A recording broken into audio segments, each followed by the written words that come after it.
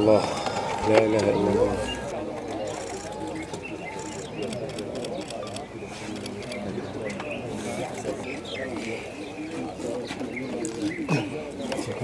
مرة واحدة